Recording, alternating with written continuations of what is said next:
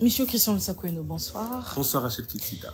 Merci de nous accorder cette interview depuis Bruxelles où vous séjournez. Alors Lusakoueno, c'est un journaliste, euh, 33 ans de métier quand même, de carrière journalistique. Euh, derrière vous, une carrière qui commence euh, en dehors des frontières de la République démocratique du Congo. Est-ce que vous pouvez d'abord en une minute nous dire comment vous avez embrassé la carrière journalistique D'abord, euh, Antipode, la faculté de Louvain-la-Neuve, la radio de la faculté de, de, de, de l'Université catholique de Louvain. Et puis, euh, l'initiative de lancer des programmes africains Radio Panique. Africa numéro 1 m'a ramassé au passage, c'était en 80. Tout cela se passe entre 1989 et 1993.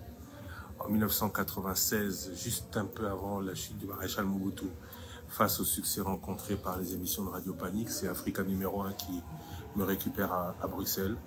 Je suis correspondant à ce moment-là d'abord en Belgique parce qu'il fallait d'abord qu'on teste le journaliste que j'étais, ensuite confirmé pour tout le Benelux, Belgique, Hollande et Luxembourg, puis euh, envoyé spécial sur tout le processus euh, de pacification du Zaïre, République démocratique du Congo.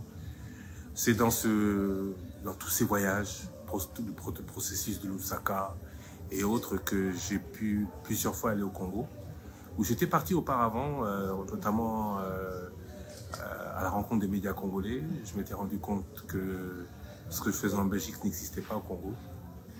2002, j'arrive à Kinshasa, sur l'assistance de mon père.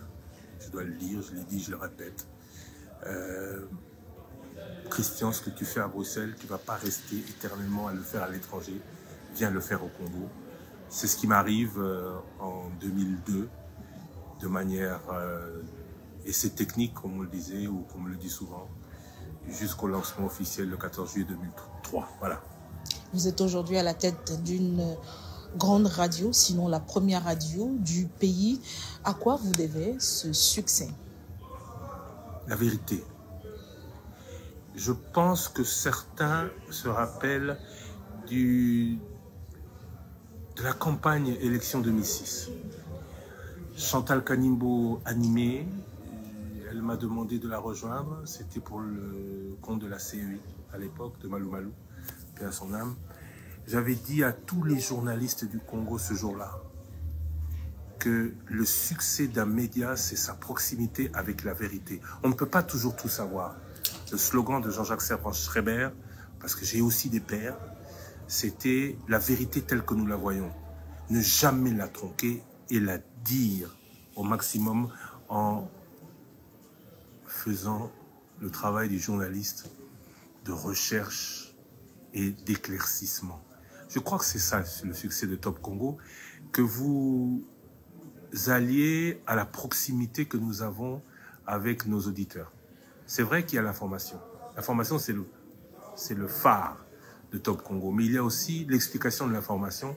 Et euh, le succès de Top Congo, c'est tout ça. Et c'est aussi une équipe.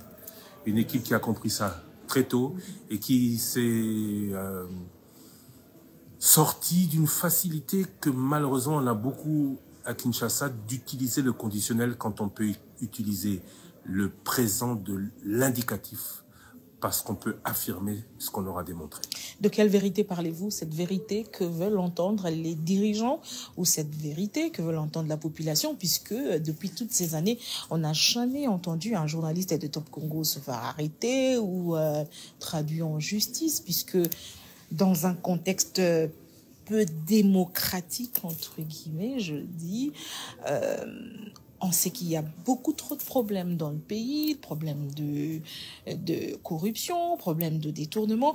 De quelle vérité parlez-vous? Vérité à double vitesse? Avez-vous fait de concessions Le faites-vous? C'est quel genre de vérité? D'abord, je voudrais démentir ce que vous avez dit. J'ai été interpellé personnellement trois fois. J'ai passé la nuit en prison. Quand? Pourquoi? Ce n'est pas parce qu'on ne fait sujet? pas de bruit arrêtez de dire Ne dites plus jamais qu'on n'a jamais interpellé des journalistes de Top Congo, c'est faux. J'en suis l'exemple. Ce n'est pas parce qu'on ne fait pas de bruit. Vous savez, récemment, on a dit que ma mère était rwandaise. Si j'avais dit au monde entier que je me que j'avais des craintes pour ma mère, qu'est-ce que le Congo aurait perdu? On aurait dit, vous voyez, on dit que les Rwandais, le Rwanda dit que les Rwandais sont en danger au Congo. Christian Lusakweno le dit encore aujourd'hui. Celui qui a dit que ma mère est rwandaise a menti. Je termine. Mhm. Celui qui a dit que ma mère est rwandaise a menti. Celui qui n'est pas dans la vérité s'expose à de nombreuses bêtises. Maintenant, comment Top Congo fait? C'est pour ça que je vous dis que c'est la manière de le dire qui est importante. Quand vous accusez, vous n'avez pas de preuves. Quand vous accusez, vous choquez. Vous savez que ce que, que vous allez dire va choquer. Prenez toutes les dispositions. Le journalisme s'apprend. Et les journalistes savent comment faire pour se protéger quand ils exposent ou quand ils annoncent une information. Top Congo le fait au maximum. J'ai toujours dit à mes journalistes, n'annoncez rien que vous ne pourriez pas prouver vous-même. Parce que la première personne à qui vous avez prouvé, qui toi le dit souvent, c'est au conseil de rédaction. Malheureusement, on n'en fait pas beaucoup au Congo. Les médias ne le font pas beaucoup et permettent à des journalistes en solo de dire n'importe quoi. Ce 19 octobre marquera aussi une date importante dans votre carrière, puisque depuis Bruxelles, vous venez de recevoir un prix d'excellence euh, qui représente le continent africain. Ça représente quoi pour vous? D'abord, la fierté. La fierté d'une reconnaissance. Quand c'est Denise Epoté-Durand que moi j'ai connue, directrice de TV5 Afrique, qui vous remet ce prix. Quand vous apprenez que c'est elle la présidente du jury et que ce jury est composé de journalistes africains de renom, je dis merci. Je dis merci à ceux qui me donnent le prix, je dis merci à ceux qui nous écoutent et je dis merci à mon équipe. Mon équipe, pourquoi? Parce que si Top Congo est ce qu'elle est aujourd'hui, c'est parce que, et je reviens à la proximité avec la vérité, c'est parce qu'il y a un effort de fait. Si l'international nous le reconnaît, N'oubliez pas, hein, ce n'est pas peu. Top Congo est quand même la première radio privée d'Afrique francophone. Ce n'est pas peu. Et si des journalistes, des éminents journalistes pour certains, parce que quand vous parlez de Thierry quand vous parlez de, de Poté-Durand, quand vous parlez de, des membres du jury du rebranding africain, attention, vous avez vu, pendant quelques jours, il n'y a eu que du beau monde ici. Et les noms des personnes qui ont été citées, ce n'est pas du menu fretin, comme on dit. Je peux dire que je suis fier et que je ferai tout ce qui est en mon pouvoir pour, un, continuer de respecter l'honneur que me font mes auditeurs et de faire l'honneur à ce prix. Si à Bruxelles vous recevez ce prix et vous êtes reconnu comme journaliste professionnel qui travaille dans le sens de redorer l'image et contribuer au développement de l'Afrique dans votre pays, la République démocratique du Congo. Aujourd'hui, c'est une structure des journalistes qui montent au créneau pour demander votre radiation de la corporation euh, journalistique. Radiation purement et simple. Une plainte a été déposée contre vous à l'Union nationale de la presse du Congo. Christian Sakono, comment vous expliquez ce contraste? D'abord, je voudrais savoir quelle est cette euh, association, premièrement. De deuxième, de deux, je voudrais expliquer à cette association qui se plaît à l'UNPC que j'ai déposé une plainte à l'UNPC, que l'UNPC a siégé, que l'UNPC, tout le monde l'a entendu, a décidé que ceux contre qui j'ai déposé plainte étaient suspendus de toute activité pendant six mois et que pendant les six mois de suspension, ils ont continué à me marcher dessus. J'ai déposé plainte, je l'ai annoncé le plus officiellement du monde, en juillet. Ce qui s'est passé depuis, les magistrats vous l'expliqueront. Je ne peux pas en dire plus. Ce que je veux dire, c'est qu'on ne peut pas impunément accuser l'autre. Je parle du journaliste qui doit être proche de la vérité. On ne peut pas impunément accuser l'autre de faire ce qu'il n'a pas fait. Vous m'avez insulté, vous m'avez diffamé. De quelle médiation a-t-il été question quand pendant deux ans, plus de 108, le même monsieur, que ce soit sur Twitter, que ce soit dans ses émissions qu'il fait, utilise mon nom, soit pour rayonner, mais dans tous les cas, pour diffamer. Je me suis plaint au CESAC, je me suis plaint à l'UNPC. Décision a été prise, ils ne l'ont pas respectée. Ils ont même dit à un moment qu'ils ne respectaient pas l'UNPC. La justice, dans une autre affaire, tout le monde le sait, est là. Je saisis la presse entière. Vous savez pourquoi ce monsieur est arrêté. Si ce n'était que pour mon dossier, les choses ne seraient pas ce qu'elles sont aujourd'hui. Toute la presse le sait, mais peu le disent. Merci à vous, Rachel Kitsita. Merci à ceux qui le disent. Que ce n'est pas Christian Lusakono qui a fait arrêter le celui que j'appelle, parce qu'il l'est, terroriste du clavier. Si aujourd'hui ce monsieur se retrouve là où il est, ce n'est pas de mon chef, c'est du chef d'autres affaires similaires à la mienne. Il est tombé sur beaucoup plus fort que moi, il le paye aujourd'hui. Moi, ma plainte est toujours existante.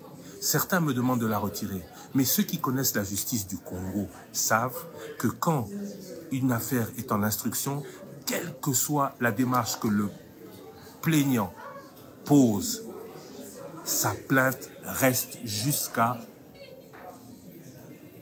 expiration du dossier. Et pour des journalistes qui connaissent le journalisme et le code d'éthique et de déontologie du journaliste congolais, article 14. savent l'article 14 qu'un journaliste ne peut porter plainte contre devoir de solidarité. Y a, la solidarité n'existe pas dans la bêtise et dans le mensonge. 700 000 dollars, ce monsieur a dit que la Cour des comptes a reçu. Je suis surpris que la Cour des comptes n'ait pas porté plainte. Pensez-vous que je vais accepter toute ma vie sur la base de mensonges de la part de personnes mal intentionnées que l'on dise que Christian Loussakweno a pris de l'argent d'un politique? Christian Loussakweno, attention, ce que j'ai dit est important. Vous avez vu vous voyez le rayonnement de Top Congo. Certains médias font du bruit, n'en ont aucun. Ils veulent juste marcher sur le rayonnement de Top Congo. J'ai été à l'UNPC. L'UNPC m'a dit, faites. Venez chez nous. J'étais au CESAC, même pas de réponse à cette date. Cette médiation doit venir de qui? Ce respect, on doit l'avoir de qui? On vous insulte et vous devez être solidaire aujourd'hui d'une personne qui n'a pas le profil du journaliste, qui n'agit pas comme un journaliste et qui vous diffame De quelle solidarité parlez-vous? Le jour où les choses seront faites dans les règles, on me donnera un coup de fil à chaque fois qu'on m'accusera pour me donner, pour, pour essayer d'avoir de moi la version. Le jour où ce n'est pas fait, ce n'est pas le journaliste qui l'a fait, et donc il n'y a pas de solidarité possible avec ce genre d'individu. Vous attendez à quoi? Rien. Ce que j'attends, c'est la, le, la vérité sur ce sujet. Je veux savoir ça vient d'où, je veux savoir c'est dit sur quelle base, et je veux voir... Un procès contre le confrère? Un procès public. La démonstration de ce qu'il a dit. Vous assumez J'assume. Le jour où ce pays, mon pays, attention, hein, parce qu'on a beaucoup parlé de ma, de ma nationalité française, c'est ça la vérité. Je suis né dans un pays à l'étranger. Madame Rachel Kitsita, imaginez, imaginez un jour que vous donniez naissance à un enfant à l'étranger, aux États-Unis par exemple. C'est automatiquement qu'il est de nationalité étrangère. Il ne sera pas votre enfant. Je ne suis pas fils de ce pays. La nationalité congolaise est une et exclusive. Mais la nationalité d'origine, vous ne la perdez pas. Il me suffit d'une simple déclaration le ministre de la Justice suivra. Je n'ai aucun problème avec ce pays. J'ai la nationalité congolaise d'origine. Mon père et ma mère sont du, sont du Congo. Faisons attention à ce à quoi nous allons. Et pour certains, si vous jouez le si vous jouez les jeux de politique qui veulent, voilà, donc euh, museler la presse. Il n'y a pas possibilité de museler une presse qui fait son travail. Je l'ai dit, j'ai déclaré la manière à laquelle ce monsieur a été, a été arrêté n'est pas bonne. Je l'ai condamné.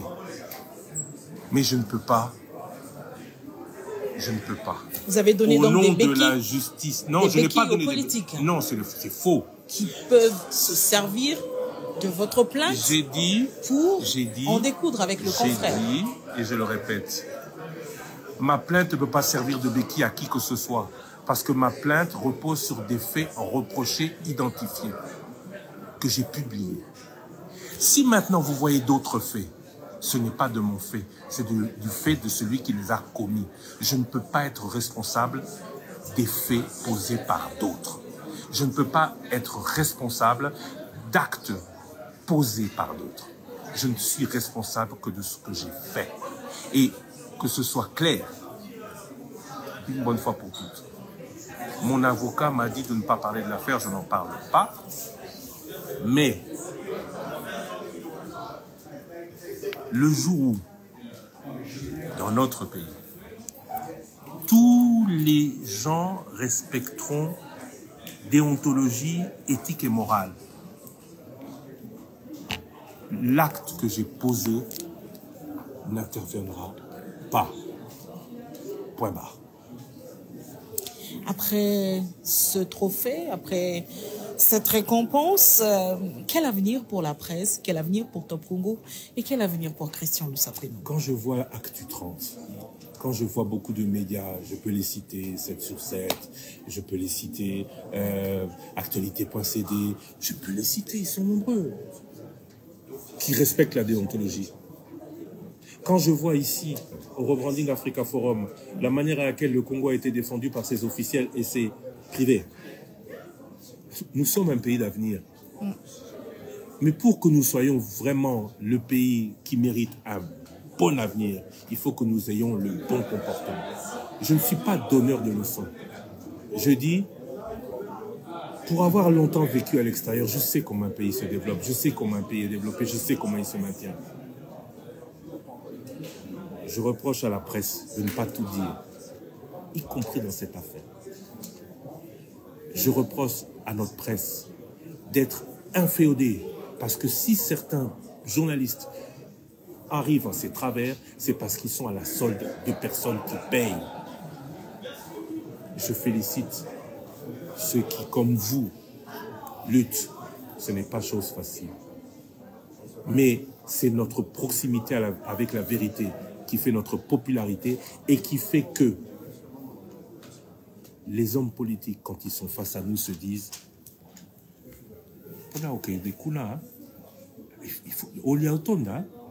parce que les questions qu'ils vont vous poser, ce ne sont pas des questions dirigées. Il y a quelqu'un qui dit, pour savoir si l'information est bonne, essayez de savoir qui paye celui qui la récolte. J'espère que c'est aussi votre cas chez Top Congo. Thierry Kambundi en est témoin. Il est à la tête d'une rédaction. Cela n'est le cas de personne. Et récemment, je l'ai rappelé, il y a une, forte séparation, une séparation totale entre la rédaction et la direction commerciale. Personne qui vient, qui pose une publicité chez nous, personne qui vient, qui donne l'argent chez nous, ne peut prétendre diffuser une information, une information de son goût. Dernière question pour terminer. Salubrité médiatique en République démocratique du Congo, à rêve, utopie. On y arrivera. euh, et aujourd'hui, avec euh, euh, ce que la volonté affichée par la tutelle, le ministre de la Communication et des Médias, est-ce qu'on est, on franchit un pas important dans la salubrité médiatique en République démocratique du La Congo? salubrité médiatique en République démocratique du Congo sera réelle. Le jour où l'UNPC, dont je salue l'élection d'un nouveau comité, s'autosaisira dès qu'elle verra qu'il y a problème au niveau du respect de la déontologie dans le chef des journalistes. Le jour où le CESAC s'autosaisira, le jour où il verra que certains médias dérapent. Cette salubrité médiatique n'est pas du chef du ministre de la Communication et des médias. Il peut et doit, du fait qu'il est aussi ancien journaliste, apporter pierre à cet édifice. mais la salubrité des médias ne dépend que de nous. Tant que nous, journalistes, accepterons d'avoir à côté de nous des gens qui ne font pas le métier et que nous nous tairons, ce mot, cette expression salubrité médiatique sera une expression en vain. Question Sakweno, merci beaucoup. Merci. C'est à, moi, Rachel Kitsita, et bon séjour à tous.